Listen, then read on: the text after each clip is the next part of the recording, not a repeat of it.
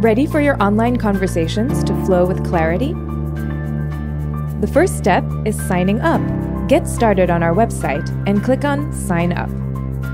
Enter your email, password, and wait for your verification email to arrive soon after. Click the link in the email and log into your account. The first thing we'll ask is for you to pick a plan. If you're an individual, pick personal. If you want clarity for your small team, pick team. If you've got more than 200 people on your team, contact our sales team and we'll give you some personalized TLC. Click here to enter your payment details. Don't forget to enter a promo code here if you have one, and hit submit. You're all set. Now you can download the app here and watch our next video for more on how to get set up.